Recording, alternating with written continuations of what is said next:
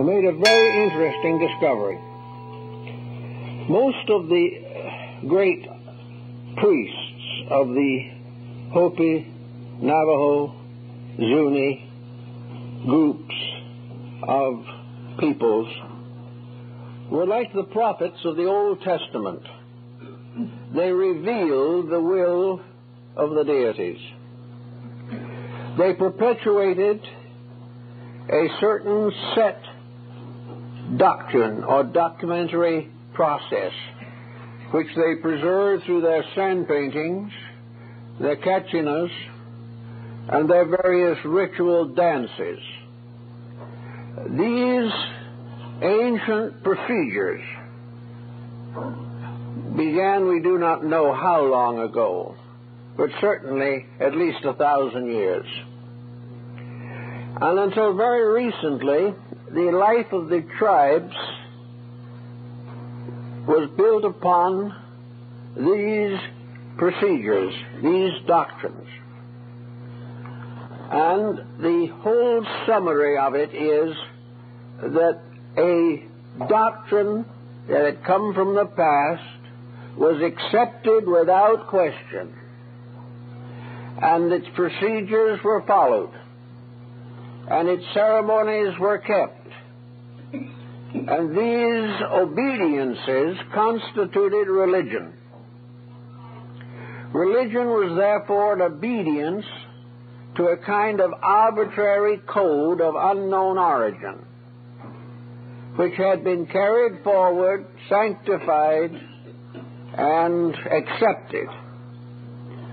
In the last 25 or 30 years, a number of young people have come up in these villages.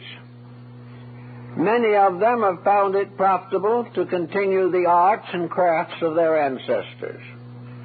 They work in turquoise and in silver.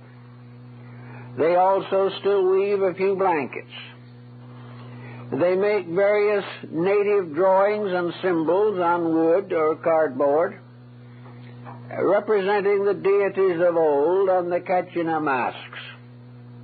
These are beautifully done and have a very ready sale, and along with pottery and baskets, constitute a major source of income. Also, these modern works are expensive. Now, what has happened? Somewhere along the line, these younger people began to interpret their own beliefs. Up to that time, no one had interpreted them. They had accepted them. But young people on the reservations now are talking in terms of Zen and extrasensory perception. They are discussing Oriental philosophies. And they are incorporating into their work evidences of a new interpretive value which was not previously present. Now, the difference seems to have been caused not only by contact with outside sources and greater educational opportunities, but by the inevitable needs of these people. These native uh, tribes and people are very intelligent. They are thoughtful, they are uh, patient, but they are intelligent. And in the course of time, it has dawned upon many of these that it was not only necessary to perpetuate the old doctrines with great care, but it was necessary to adapt the old to the needs of the new. And this is called interpretation. Now, interpretation did not begin on the mesas of the American Southwest. Interpretation has existed everywhere. And interpretations are frequently reinterpreted a number of times because of the changing pressures of circumstances and the unfolding needs of the individual. The individual of today who is thoughtful cannot accept without question uh, the literalisms of ancient believing. He cannot simply be satisfied to listen uh, to the patriarchs of old and accept without question anything that they reported or regarded as significant. Perhaps the main separating factor was the gradual unfoldment within the individual of the realization that he had the power to think. Very primitive tribes and probably our cave ancestors uh, did not have very extensive intellectual equipment. Therefore, they depended upon their priests and their leaders for all of their wisdom. And these, in turn, depended upon a mysterious order of beings called the gods. And the gods were the parents of the tribes and the clans. The gods made all the decisions. The gods saved man. The gods cursed man. The gods hardened the hearts of the pharaohs, and he also answered prayers for rain and fecundity. The God of the tribe was the master, the autocrat, the absolute ruler. And the people in all emergencies turned to him. And descending from this line of thinking gradually over a period of time, we come to medieval Europe and medieval Asia, in which the divine right of kings was merely a transference of the God image to the ruling monarch. But with one mysterious spiritual power responsible for everything. And this power subject to a variety of moods, so the deities became angry and petulant. They developed rather unfortunate moral complications. It became perhaps a little difficult for the believer to have full confidence in deities as these were recorded in mythology with their curious behaviorisms. So gradually the unfolding intelligence of the individual made a very important discovery he began to examine himself. He began to search for his own place in the plan of things.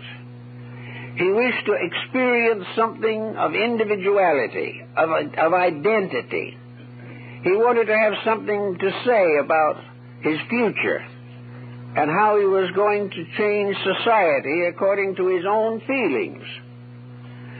The deities remained, but they were more or less distant and gradually many of their powers were taken over by the people themselves. And out of this began what we like to term today the concept of mysticism. Mysticism was the transference of the leadership of life from outside factors to internal powers.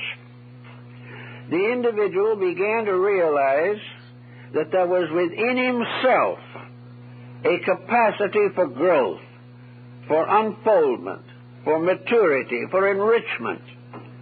That he also had something to say about what he should believe and what he should not believe. But most of all, he wanted to know more about what he believed. He did not wish to accept merely a statement because it came from an authority and gradually the seat of authority was moved from the heavens to his own mind.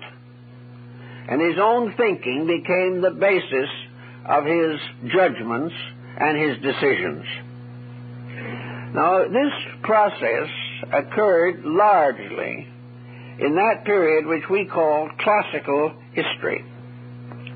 The process of gradually transferring the rulership of the universe uh, from mysterious abstract deities and placing this responsibility upon individuals, upon human beings, making them not only masters of their own souls, but also obligated to themselves for standards of conduct and for moral directives.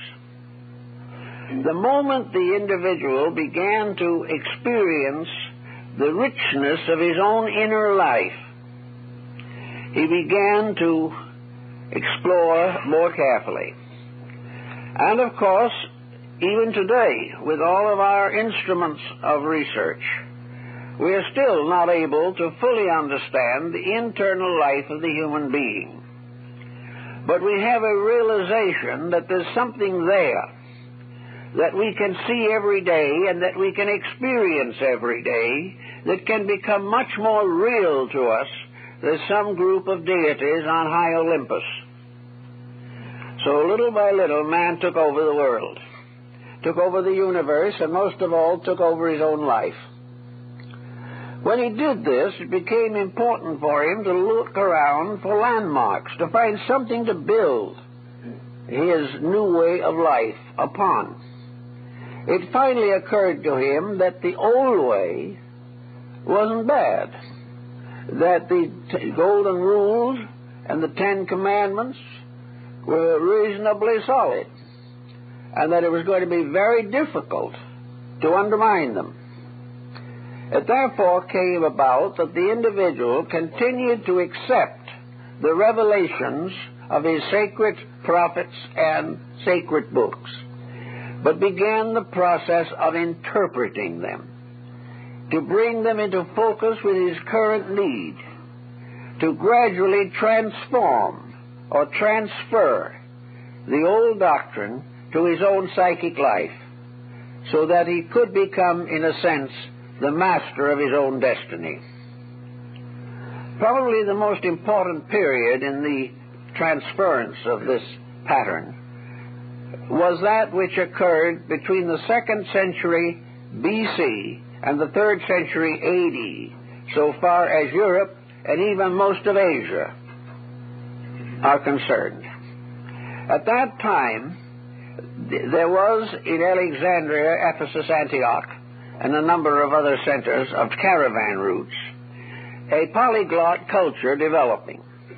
People of many beliefs assembled there uh, to trade and barter, and in many instances to communicate the choicest secrets of their moral lives.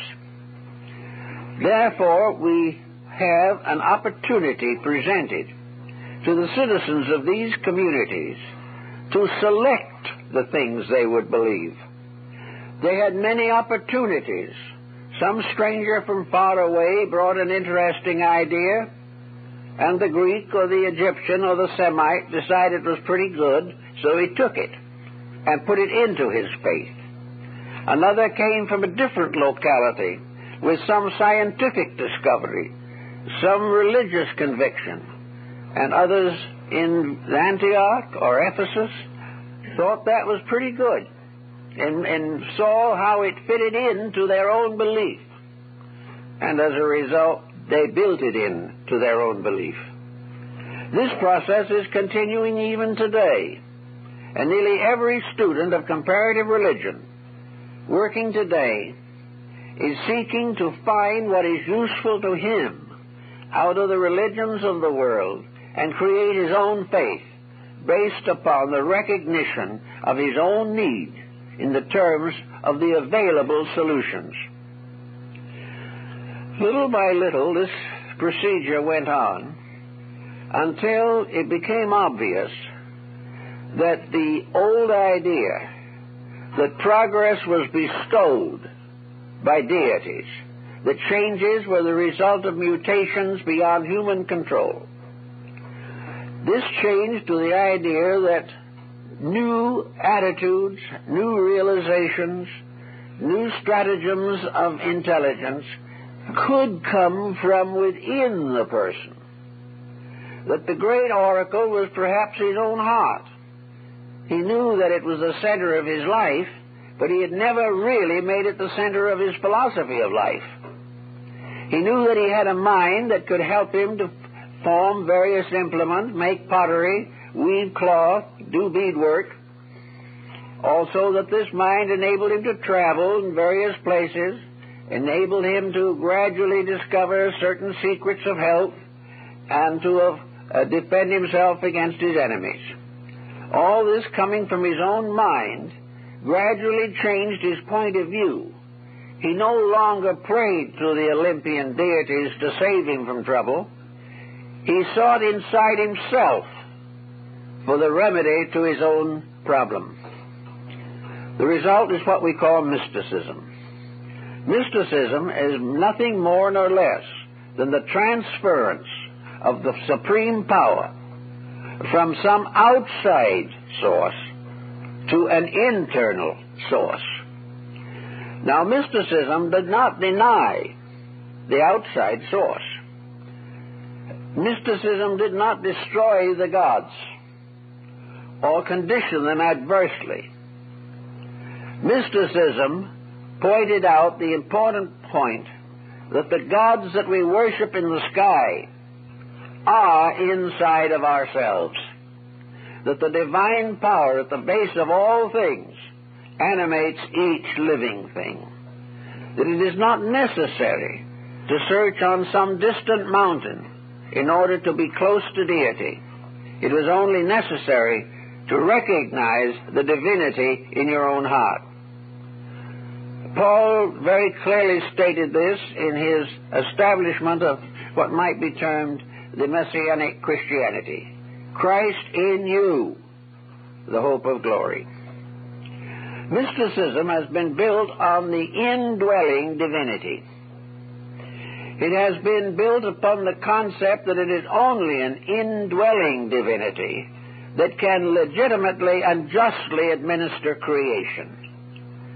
We tried very hard to get used to the idea that God wandered about and carefully checked every human being as to his orthodoxy and his morality.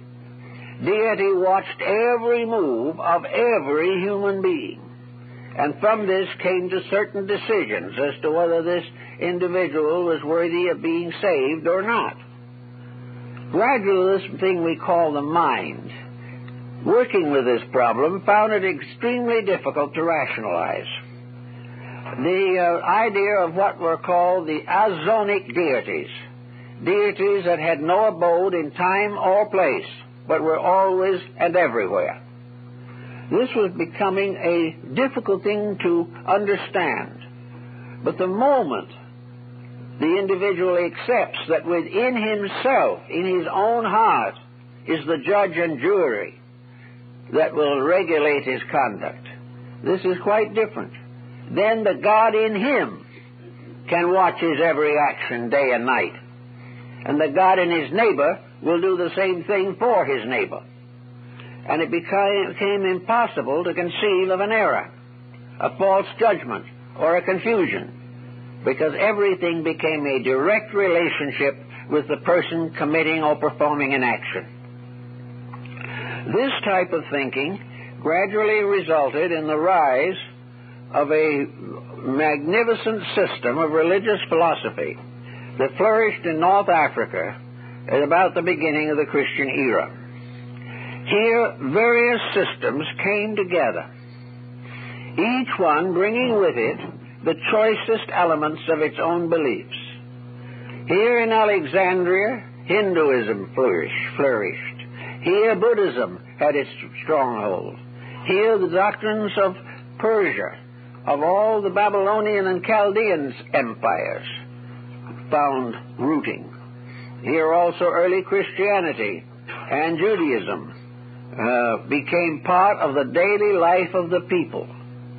And out of this complex of beliefs, there arose a system of philosophy which is perhaps best defined by as Neoplatonism, in which all wisdom was explored and interpreted in terms of interior experience. All things had to be solved from within the believer. The answer was not to be found outside. If he thought he got the answer from the outside, it was because the internal faculties of his own consciousness bestowed it, but it seemed to be separate from his ordinary cognitions. So everyone in those days recognized that each religion, whether it was Buddhism or Semitism or whatever it might be, had found it necessary to develop a mysticism. It had to have it because it was impossible to hold the minds of people to a completely literal revelation. It was impossible to prevent the mind from growing. And that which had been acceptable before the mind developed was no longer acceptable after the mental processes were available. So the individual took the old beliefs and with the aid of his mind brought them into a contemporary focus for his own use, making it possible for him to find the solution to his inner experiences from the world's structure of knowledge. One of the answers to this, of course, comes in a division that took place between what we call today idealism and materialism. Idealism was an interpretation of nature in the terms of a loving deity or a universal process essentially benevolent. Materialism was the denial of this, and the emphasis was upon uh, simply accidental or providential incidents, and the individual never had any foundation whatsoever for confidence in the universe to which he belonged. This difference of opinion created schools of interpretation Modern science is largely based upon the materialistic interpretation, and modern religion upon the idealistic, and modern philosophy is, so to say, in a state of deadly confusion between the two. No one seems to know in philosophy just what to do about these things. But philosophy, to be of importance and significance, must gradually verge toward idealism because it must recognize a legitimate reason for the occurrences of life. Failure to do this makes, makes philosophy a dead end as far as a contribution to human progress could be concerned. Now, in the beginning of this Neoplatonic tradition, we find Platonism, Pythagoreanism, all of these schools of thought coming in together to create a new concept, namely the concept of the open door back to reality. If the God in man uh, is part of a supreme being, a fragment of the eternal, then the answer to the human problem is for this fragment to return to that of which it is a part. And the God in each has the power, the authority, and the means to restore its identity with the God of all. Thus, there was the, the need for the development of a means of increasing internal culture. The ancients were just as aware as we are of the dangers of war. They realized that petty nuisances flourished all over the earth. They knew of the corrupt rulers and the corrupted peoples. They knew of exploitation, of war, and of all the difficulties that beset us. I remember noting that in the Code of Hammurabi of Babylon, one of the earliest of all codes to govern conduct, there was a long and complete section dealing what to do with how home builders who shotted the materials. And when the house fell down, uh, the law stepped in and really made an issue of it. And that was thousands of years ago. So the problems have not changed too much, except perhaps they've come a little more numerous and a little more forceful. But in the problems themselves, the great question was to find a solution. And here, these mystics, recognizing the need for a program of forwardness, uh, began to organize their concepts of the future. The Sibyls prophesied the times to come. the prophets and sages and philosophers contemplated the philosophic empire, and religions meditated upon the mystery of the second coming and the New Jerusalem. These were interpretations, they were expansions, extensions, based upon the need of certain advancements by persons who could not survive under the conditions of the old order of things. This means that the mystics worked in very many different ways, not only to plan a future, but if possible, to learn how to build together for a definite goal. In this cycle of things, we had all kinds of appearances rise over the horizon. Nearly every religion developed an esoteric section. It developed a group within itself who, uh, this group which was able to clearly integrate available knowledge and focus it upon the shape of things to come. The sage no longer contemplated things as they are. He began to think of things as they must become through the active effort of intelligence. The sage began not only to believe in honesty, but to realize from experience the tragedies of dishonesty. It was no longer an empirical believing.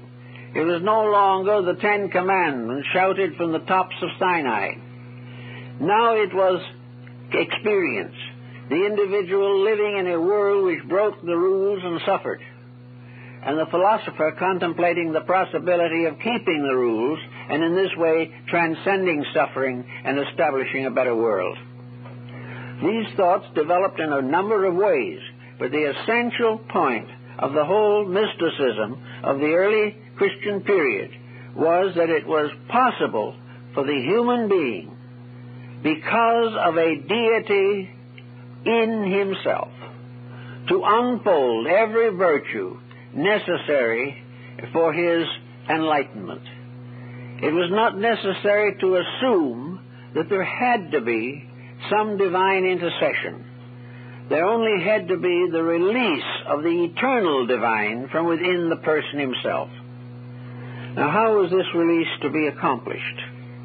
It's obvious that, in a way, it is happening all the time. The release of the inner life of the person is through experience. By experience, we ultimately learn what is good and what is bad. We may topple empires, destroy races, and overwhelm civilizations, but ultimately we will learn what is right from experience. But it is a long and painful journey. It therefore occurred to some of these people, the more enlightened of them certainly, that it was possible to achieve a great, greater leadership in the control of experience. That it was possible to find what the alchemist said, that art can perfect nature. In other words, that there was an art of living that could be studied, could be learned, and could be achieved, and was just as real and just as useful as any academic course that the person could take gradually it became aware that, uh, uh, obvious that academics could teach the individual to use the world as he knew it, but mysticism could help him to change the world. And we have always, in our time especially, regretted the conservative attitude of, of academic knowledge. Instead of leading, it is clinging desperately to the old procedures and uh, struggling to maintain a prestige that is in most instances outworn. But in the mystical processes of things, the front door is always open. There is always the possibility of progress, of growth. Art can perfect nature. There must be an art of perfecting man. There has to be a science of salvation. There has to be a real, organized, factual road that leads from the present state of the individual to the fulfillment and unfoldment of his entire body of, pot- of potentials, of inner capacities, of abilities, long locked. Many persons are not even aware that they possess these abilities, but nevertheless they are there. And every individual has the seed of perfection within himself. Out of this kind of thinking came a series of organized movements in early religion. One of these was the Hermetic tradition of Egypt, the mysterious philosophy of Hermes Trismegistus, the thrice great Hermes, the uh, founder of a great system which ra- gradually mingled itself with Gnosticism. It was here also that alchemy had its beginning, for alchemy was nothing more than a science of art perfecting nature. Here came the Kabbalah to help to re- release the mind from the jots and tittles of Scripture and allow the inner life of the individual to fulfill the law which these Scriptures required. Here was also astrology, which was originally a psychology of the universe. It was a way of interpreting the universe as an organism, as a living thing. It was a psychological entity whereas astronomy was merely a physiological entity as far as the heavens were concerned. And the ancient systems of Ptolemaic astrology became a clue to the unfoldment of man, and astrology became a factor in the development of the healing arts. It became a factor in government. Almost every field that wanted an organized plan for development began to copy the structure of the solar system which was to them the largest complete entity available to them. So everywhere and all down through the centuries, this process of building a way out of the labyrinth dominated a certain group of persons. It came as a series of experiences. And uh, as the early church fathers pointed out, most of the experiences that brought about enlightenment were sad. They were experiences of grief or loss or frustration. They were something within the individual, a kind of moral sense that accused him of his own misdeeds. They were limitations and restrictions which he had to throw off in order to go on with the purpose for which he was intended. In your early Christian church, you had a strong mysticism, of, which perhaps the outstanding example was St. Francis de Assisi. We had in him a person who had a mystical appreciation, acceptance, and participation in the total mystery of existence. And this mystery experience came from within himself. It was a light within himself which cast a glow upon everything outside of himself and enabled him to read the world by the light of his own soul. There have been many mystics, not only in Christianity and Judaism, but also in other countries. The mystics of Islam were very interesting and very dramatic in their interpretation of a combination of Semitic and Christian philosophy. In Asia, the secret sciences of yoga and Vedanta arose out of the desperate determination to accomplish what uh, we find in one of the quatrains of the Rubaiyat, where the poet is made to say, From my base metal shall be filed the key that shall unlock the door he howls without, referring to the dervishes.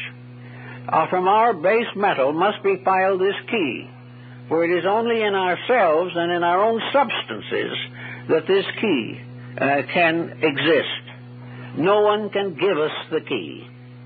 No one can open the door for us.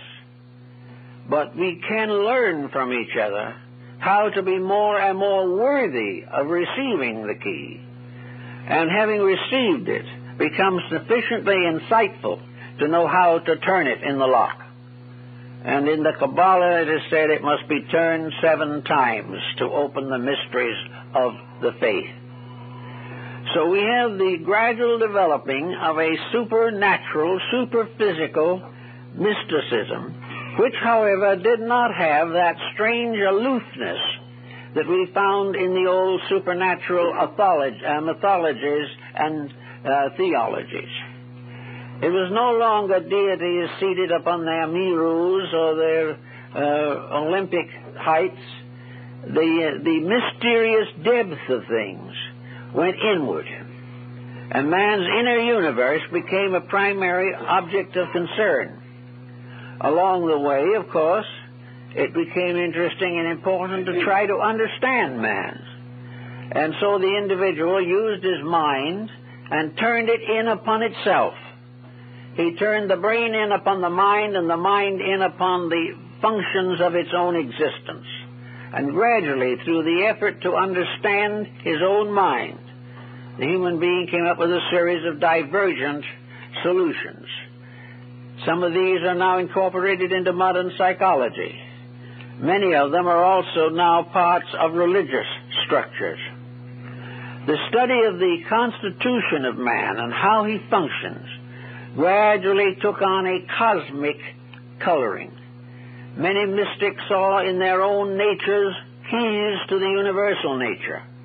They saw in the functions of their own bodies the miniatures of the functions of the great bodies in space. They fulfilled the Hermetic axiom as above, so below. That which is true of the greatest is true of the least, and that which is true of the cosmos and the galaxy is true of the tiniest gnat floating in a sunbeam. Everything is part of a great lawfulness. This lawfulness is not revealed directly by deities. It is experienced by the person himself. And in this pre- process of experiencing, we have another step that is very important. Most ancient peoples were accused of idolatry. They were supposed to be out worshiping wood and stone. They were said to be completely dominated uh, by these inert uh, manufacturings of their own skills, and that they were praying to something they could never answer and to which uh, they gave a false allegiance.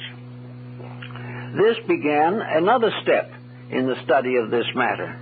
And it gradually dawned upon most of these people, many of them at least, that these deities that they had previously considered to be persons and represented by imagery were really not uh, persons and could not be adequately represented by any form of imagery. These persons were merely the symbolical appearances of principles eternal in space. And if an image was created, this image stood for a principle and not for a personality. It did not represent an, an angry God who was going to punish his people. It did not represent any power or authority such as we know. This personification represented an aspect of the total life, the total network of interacting truths, principles, realities by which the universe is sustained. So little by little, the individual got over idolatry and began to realize that idolatry belonged to the idea that things came from the outside rather than from the inside. After the beginning of the Christian era, we find that Christianity inevitably and instinctively moved toward the idea of salvation through merit. The uh, entire structure was geared uh, to the realization that man must, in some way or other, discover the inward workings of the divine plan. The New Testament and parts of the Old Testament consider the matter of prayer very carefully. And nearly all of those who have studied the, the situation carefully realize that prayer was a form of meditation, of concentration, a means of retiring into the self in science, in silence, and in solitude, in order to search out the self that is locked within us. The prayer is addressed to God. but the ear that hears it is the God in our own hearts, the ear that is in the heart symbol of the Egyptian philosophy. Thus, the prayer can be answered directly, but because it is in the keeping of an ineffable power, an absolute ability locked within the individual to achieve and become anything that he is resolved to accomplish that is right and proper. This also carries within it the opposite pattern, the perversion or prostitution of this internal power creates an inevitable corruption, which also must bring a sad and sorry consequence to the individual. Gradually, the motion of religions in the world and Christianity in the foreground of these motions. Eh, the motion is the, the development of internal integrity. The individual must become that which he claims to believe. If he does not become it, his belief is nothing. And uh, he will remain as he is now, sounding brass and tinkling cymbals, unless the belief that is in him changes his conduct.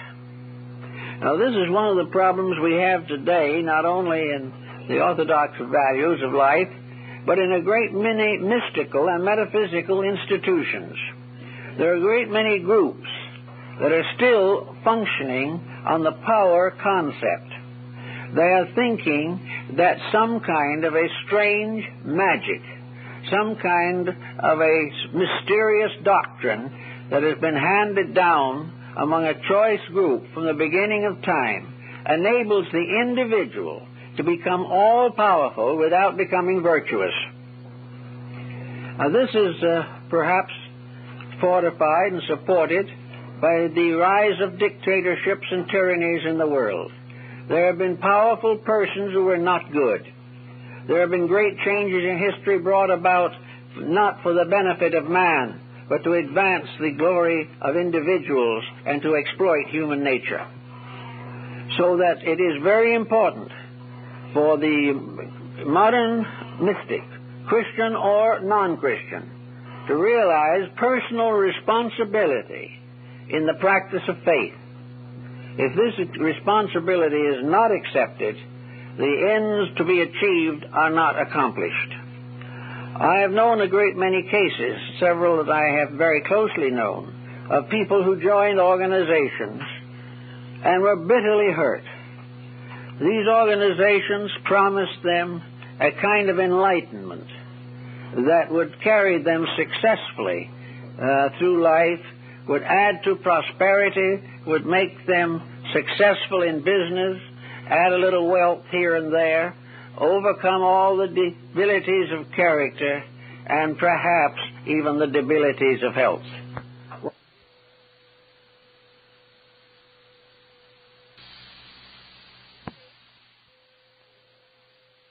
be hurt.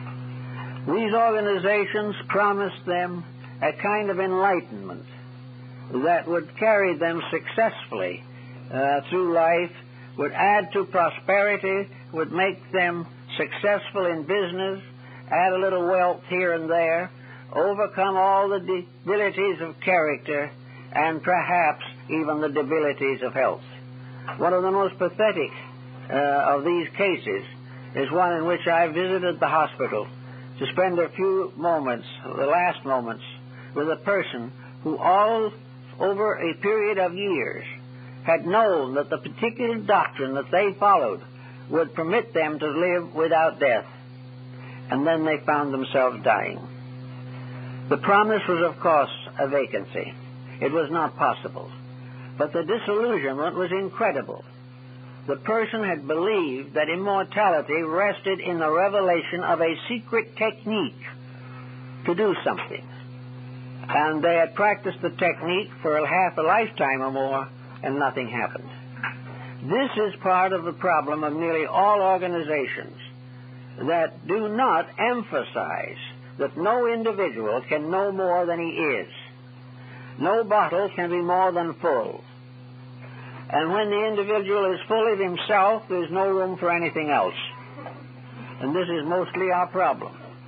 When we spend all of our time thinking about what we want, we have little time to meditate upon what we need. And that was one of the theories behind Pythagorean philosophy. He warned his disciples in, in their meditations never to ask God for favors, because in order to do so, they would have to let deity know where they were, and this would be a mistake.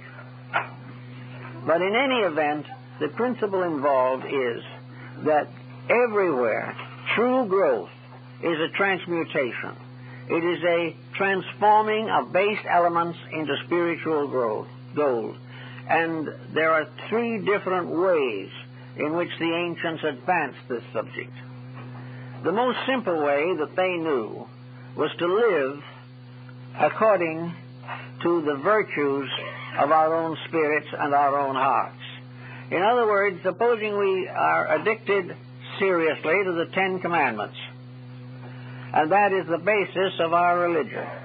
Now, the Ten Commandments remains a, an, an important code or credo, but the individual who doesn't keep them gains nothing because he has memorized them, nor does he gain anything because he preaches them.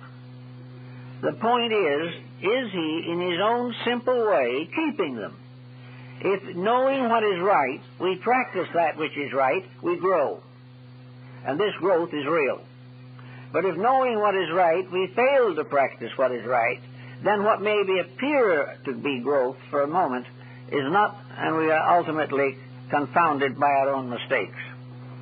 So everywhere, the beginning to the ancients was the practice of the common natural virtues of living, the correction of dispositional tendencies, the maintenance of a happy and properly regulated home, due attention and affection to family, children, respect for parents, and moderation of living, and a certain humility towards life, a lack of arrogance, a lack of dictatorial domination and a freedom from the aggrandizement of self. These things are the common virtues of life. And if they are more or less assiduously practiced, then the individual is beginning to release spiritual value within himself. Now, the second way in which he can accomplish these, uh, this purpose depends entirely upon the first. The first virtue is a cathartic virtue. That is, it is a cleansing. And the individual who doesn't cleanse his heart and mind of his common mistakes will go no further. He can never hurdle over them. He can never say, The Lord will forgive my disposition because I can't control it. That is not problem, because the Lord that must live with the disposition is in you and suffers from your disposition every day.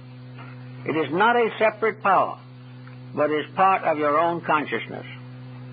Then, after you have had a certain cathartic uh, discipline, where you have cleansed and purified your heart and mind as far as possible uh, from the ordinary mistakes of living, then the ancients declared it became necessary to gain control of both the mind and the emotions. The first step was to cleanse them so that they did no harm. The second was to control them so that they could be used constantly and consciously for the attainment of the purposes for which they were intended. The mind is given to the individual to think with, and the quality of his thinking is something he must control. It is necessary for him to recognize his responsibility to use the mind for the advancement of himself and the general benefit of society.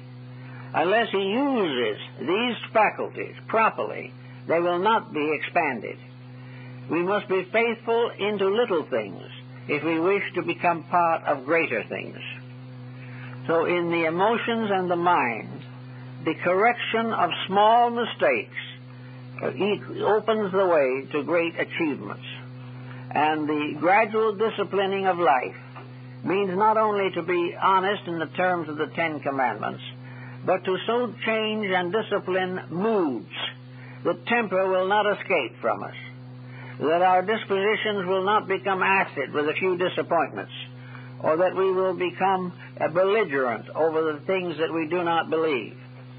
And one of the best and most important rules is to get over judging other people and uh, assume the need for self judgment. And that this self judgment must not be dominated by egotism. So the person practices meditation, the Pythagorean disciplines. He uh, goes into religious orders. He goes further and further into the search for spiritual integrities as they are dramatized in the rituals of the mysteries and the solemnities of the Mass. All of these things have a tendency to stimulate, to release, to inspire, and to encourage.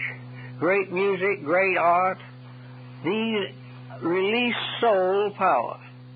They release the use of energy from mediocre waste to well directed purpose.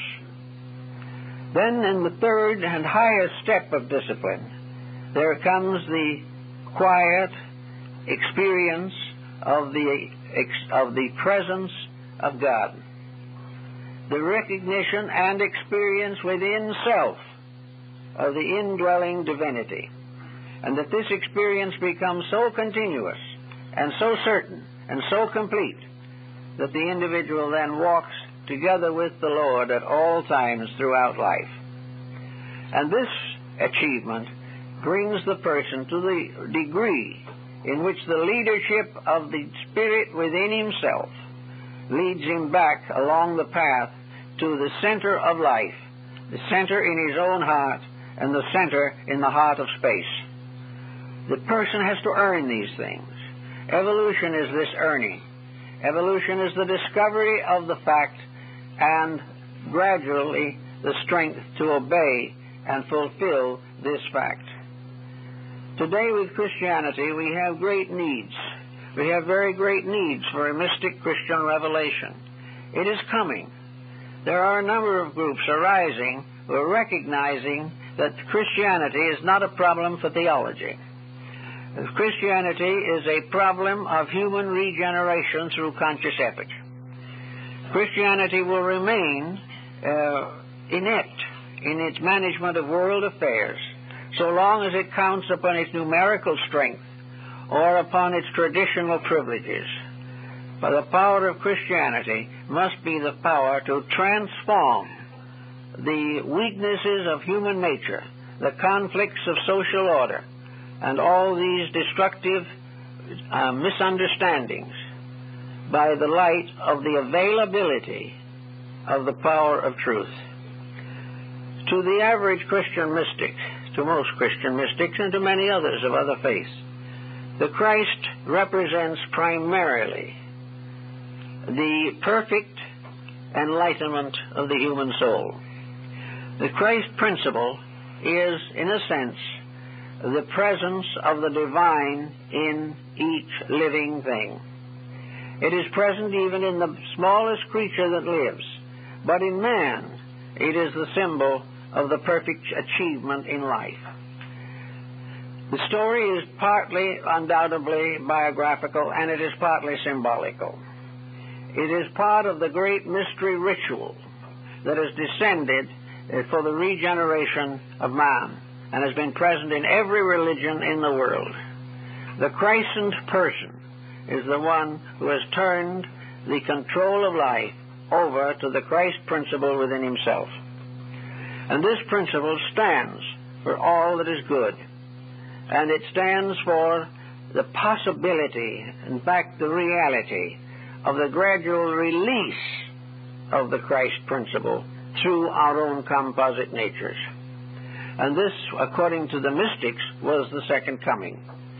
It was the coming of the Christ principle in our daily conduct, the gradual regeneration and reformation of our own life and the way we live it, and the things that we do every day. Now, as we gather again for Christmas, and we are very close to that time now, we should have some thought for these values that we have a tendency to accept but do not actually apply. We've never had a greater opportunity than today to make the Christian religion a fact in our daily life. But this fact is not in terms of architecture. It is not in terms of the constant repetition of words which have comparatively slight meaning for us. We believe in them. We hope that they are all true. Some of these words are in, implying the, the danger to the soul if we don't keep them, and others the glories of the soul if we do keep them. But the real fact remains that the Christ person, the Christian, is the person who has been christened. And to be christened, it means in essential uh, to be dedicated to the revelation of the God power within himself. Now, it's, we can say that's fine, but how do we do it? Uh, what do we do in cases like this? How are we going to apply uh, our daily conduct to fulfill so exalted a concept? I think the first thing we have to try to do is to con- uh, get a concept of this.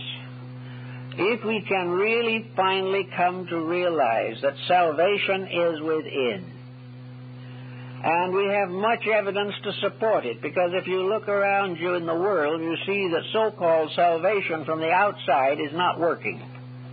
It never could. Salvation is a result of accepting something but doing nothing about it is simply a fallacy.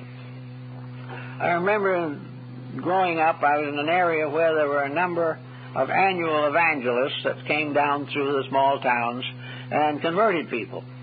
And it was really quite a quite an interesting and inspiring spectacle.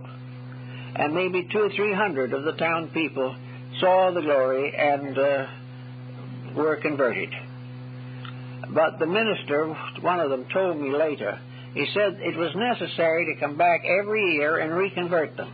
because nothing of that nature, these high notions maintained by an emotional ecstasy, seldom would last for more than 12 months. By that time, the alcoholic was back on the bottle, and the uh, unpleasant parent was back making his family miserable. So it was necessary to convert about every year. And anything that approaches religion on the basis of conversion is on this problem. It will not help. The only answer has to be that the individual recognizing that he has the capacity because of the divine principle within him to be anything that he will be by dedication but that if by any chance he wants to use this divine principle for selfish ends, he is then a first class Satanist. Because to use God for less than his own purposes must be considered as treason. But if the individual slowly and cautiously and carefully does allow growth to take place, permits himself to cling to principles, to weigh all things, and every day try to see or experience some proof of a truth or an ideal which he should be applying. If he will do this, he will not make great change in history, but he may make a great change in himself. He will begin to realize that we can be defeated simply by lack of right motive that we can come to nothing because we have not placed our goal where it belongs. The end of our life is not that we should be rich, powerful, distinguished, or have a wide sphere of influence. The end of our life is not that we should convert everybody else to what we believe. The end of living is to grow in grace, grow in spirit, grow within ourselves not by our own effort, but by the presence of a power within ourselves. And this brings us a little bit into the problem of the Christ and the Antichrist. The individual is starting in to grow, really sincerely trying, begins to experience interferences. he begins to be tempted to compromise just a little, or to point out a certain temper fit and justify it on the grounds of righteous indignation. Also, if he's a little less than honest, it probably will be overlooked uh, because the rest of the world is a little less than honest. These things arise from what the Greeks call the ego, the personal self. And this personal self is the prince of this world who has nothing in God. But the temptation to be less than ourselves arises from the mental process by means of which we visualize the pleasure of doing something that is not proper, or that we do not believe sufficiently in the integrities to allow them to stand against the appetites or the temptations. So we have to watch very carefully as we go along to see that we do not slip a little. As they used to say in the old days down to the river, we would not become a backslider. The back, backslider is one who goes two steps forward and three backwards in the development of his moral nature. Temptations become more and more prominent, more and more pressing, and the moment we begin to practice them or accept them, they increase in strength and power until finally they block practically every effort of the individual to release the best of himself. Even in the arts, this is true, because the temptation of wealth or success in art generally destroys the integrity of art. And every compromise that we make of values reduces our probability of achieving that which we most need and desire. This does not mean that uh, the good life, the religious life, is one of frustration. Uh, the whole idea that we have to give up, inhibit, or restrict, deny ourselves of everything we want in order to be good is completely untrue. We, uh, if we have to deny ourselves everything because it interferes, or these things interfere with goodness, then there's something wrong with the things we like. Uh, we should realize that if the fulfillment of desire requires a compromise of character, then there's something wrong with the desire. And that this is the problem. There are things we want which we should not have. There are things we want to do that we should not do. But if our personal feelings are strong enough to make us do these things, then we are in the presence of the tempter. The tempter is nothing more or less than the human ego, the mind, telling us that we can get away with a little larceny occasionally and we cannot. The principles in, within the individual are so exact that they are like the motion of atoms or molecules or electrons. Everything is exact. There are no approximates. There are no uh, try it over again attitudes. Everything has to be what it should be. The development of integrity is an exact science, but it is not a frustration. An individual who will spend 20 years, perhaps, practicing five hours a day to become a violinist does not seem to begrudge the effort. If he's a real musician, it'll be because he loves music. If he is a technician without the deeper side of his art, then he will be glad to do it for the sake of the fees that he can collect. But he does it. And as a result of that, he becomes an expert. And because he becomes an expert, he becomes famous. And so on and so on and so on. Now, a person who is willing to do all this for the sake of playing a violin should not believe it be, to be a terrible hardship to practice the integrities or to practice the presence of God in his own life. The only reason why he is inclined to doubt it is because the musician thinks he has a little business lying ahead whereas the practice of the virtues seems to be only rewarded in heaven, and many people are looking for rewards here and now. But the problem remains that the moment we, we depart from the realities, we fall into the slough of despond, as it is called in Pilgrim's Progress. So the person has to decide to try. We won't be perfect at it. No one will.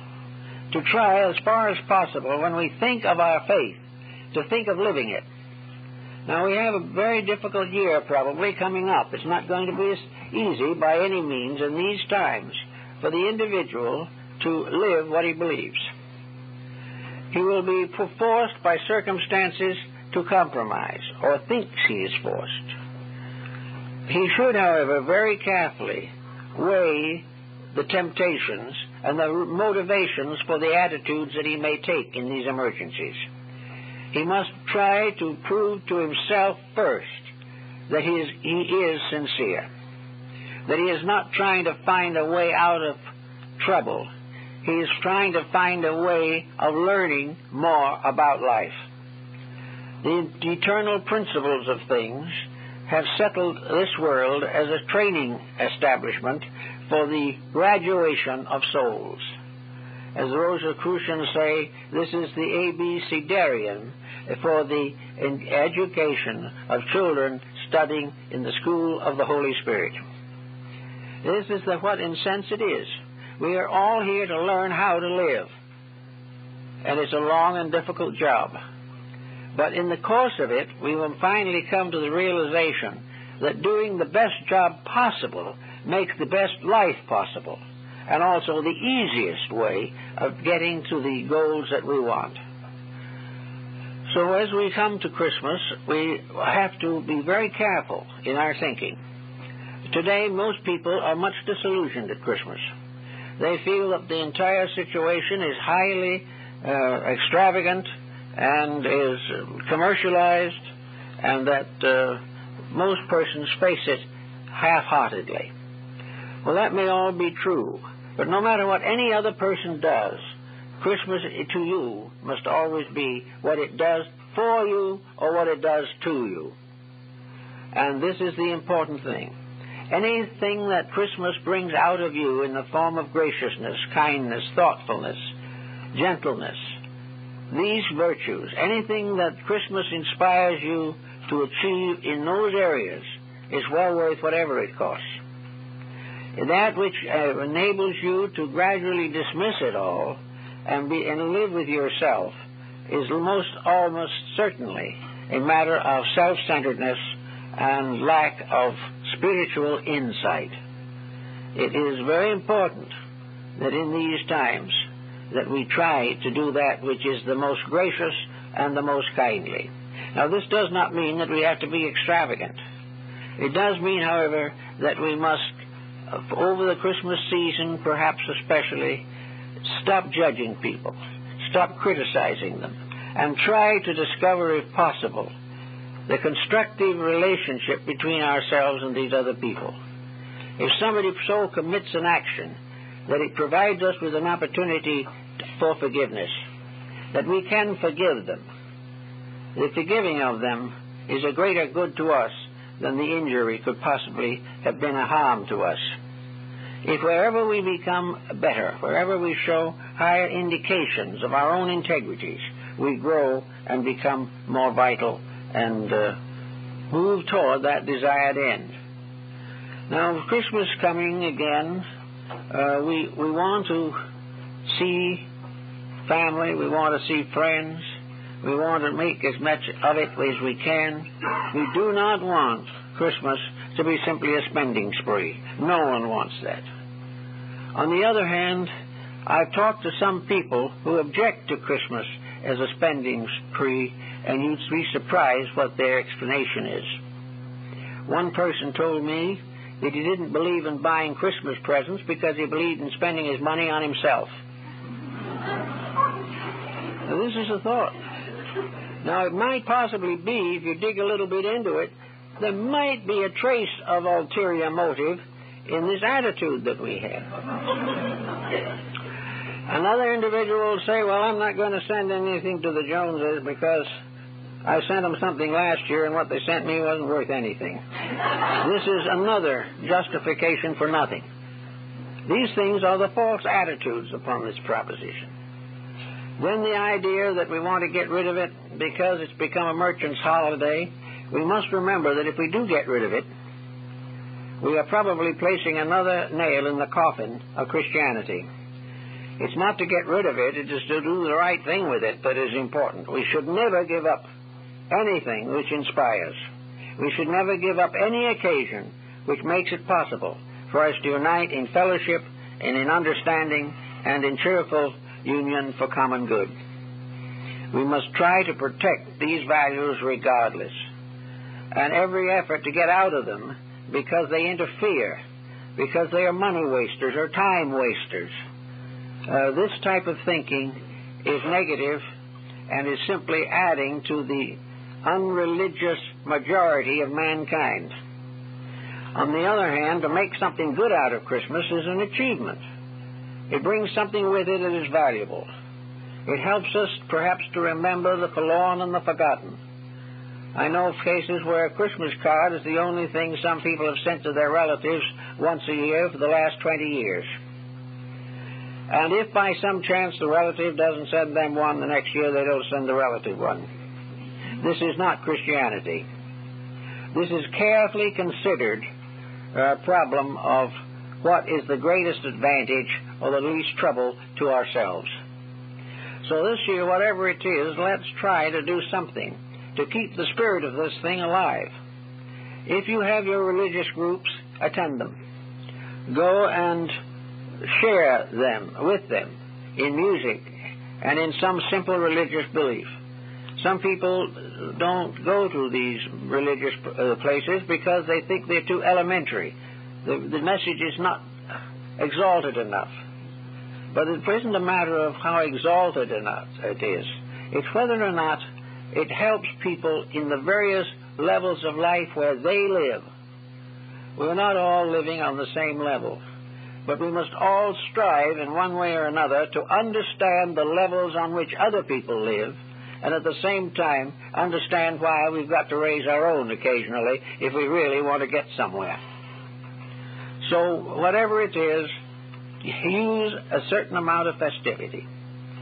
And uh, do not spend too much time regretting world conditions. After all, we caused them. And whether we like it or not, we're going to have to pay for them ultimately. The world conditions did not descend as it falleth from heaven. It, it came right out of our daily relationships with each other. And these conditions will not be cured until a better part of ourselves leads the rest of ourselves. And uh, I think it was Marcus Aurelius who said on one occasion, Man is a little flesh and a little air, and that which commands. And that is what we all are. We're just mind, body, little air, but, but that which commands. Marcus Aurelius was a mystic. That which, was, which commands is the best part of ourselves. And when the best leads the rest, growth is inevitable. But when we block the best and strive desperately to escape the challenge of self improvement, we are in serious trouble. So we're going to have some difficulties in the coming years. The world is very much upset. But I think we have to realize that as citizens of the universe, each of us has our, his own responsibility. Each of us must do that which he sees it, and the best as he knows, for the God of things as they are. Each of us must try to be prepared for the changes that arise. We must be prepared for the tragedies that may come.